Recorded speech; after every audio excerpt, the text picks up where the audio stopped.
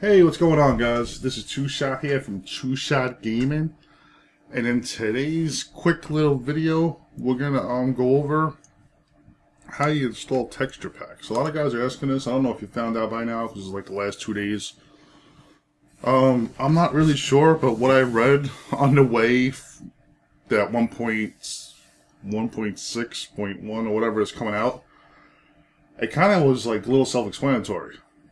Um I'm not sure how good they are if they handle HD, so I got a 16-bit one and a 64-bit one, just for testing reasons. Well, let's see what let's see what happens. Percent app data percent. Going to our roaming, right? Go down to your start, obviously, right? Go to your start, type in percent app data percent, and then click on your roaming. So I've been doing a lot of videos. I'm getting kind of like crazy about it. then go to your dot Minecraft right? Now you have everything in here. You got resource packs. Now these are supposed to hold. We got the uh, the A R A R S A resource pack. This was, I'm pretty sure, was a 16-bit texture pack.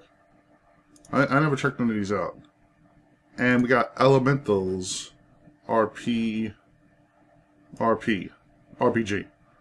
This is a texture pack, and it also has a music thing we can put inside. I don't know. We're going to find out if it works, right?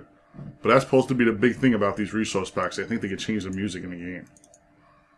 If I'm not mistaken. And if I'm wrong, I'm wrong. you know, we'll find out, though. But that's what I think, or to make the... Makes everything have different sounds and stuff like that, so it should be pretty cool. So let's, um... Let's go into our shot pack, right? As we made in the last episode and just log in. And I don't know, like, I, am thinking the other one was a 16-bit pack, so that should work with no problem. The other one I think was 64, so let's see, options, resource packs.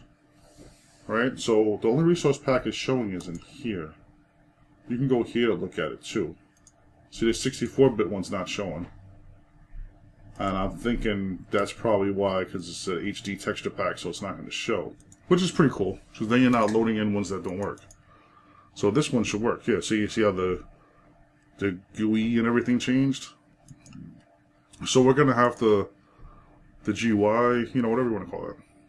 It looks kind of cool. I have no clue what it looks like, so we're, we're just here, we're here together. So if you want to put in anything 16-bit, you can get away with that and put those in here. Oh yeah, Biosphere World.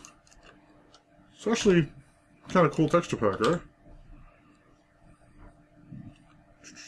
I found these on Planet Minecraft. I just went there quick and downloaded some just to give you like a little idea. You can kind of look through it a little bit, see what you like. Not bad. It's pretty good for a 16-bit one. I think he's still working on some of them because he's missing some of the water bottles and stuff like that. But, oh no, actually, I think these those are different. But well, you know, everything just came out, so. But I kind of like what he did with some of them. I like the like you know for a non-HD pack. Not bad at all, right? And this is all this regular music, so nothing special in this one. We can't test that part out. So we could lower it down now. So that's how you install those. If you want HD ones, I'm probably going to have to look it up. We're probably going to have to go through like MC Patcher or when Optifine comes out, they're going to have a resource folder where you can just pop them in there. It's going to be like pretty much the same basis, but the resource, you know, resource pack folder. Like the same way you just did that, where you just put your HD ones in there for Optifine. Oh, look at all the kitties. Alright guys, so thanks so much for watching. Until next time, peace.